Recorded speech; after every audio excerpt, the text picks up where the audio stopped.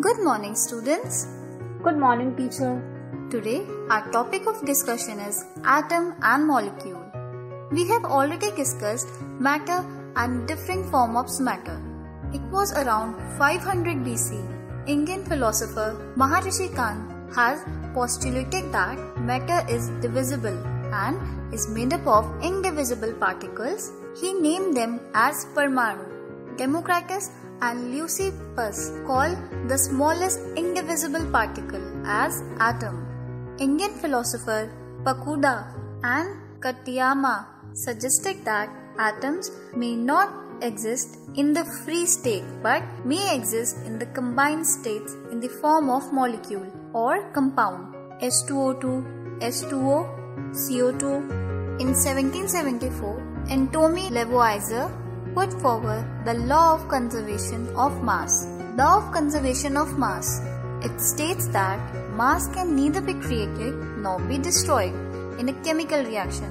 That is, in a chemical reaction, the total mass reactant is equal to the total mass of product. Calcium carbonate on heating decomposes to form calcium oxide. CaCO3 under heat gives CaO plus CO2 that is lime water CaO.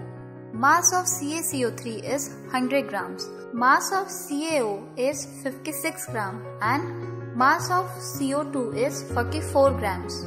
Total mass of product CaO plus CO2 is 56 plus 44 gives 100 grams. Experiment.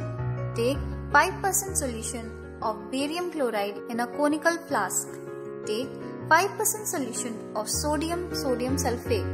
Suspend the test tube in the flask with a thread and fill the flask with the cork. Weigh the complete system and subtract the weight of conical flask. Now loosen the cork so that the thread is loosened and the test tube falls into the flask.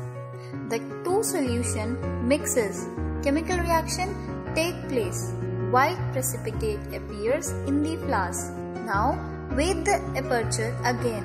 The mass comes out to be the same as it was before the reaction. Laws of definite proportion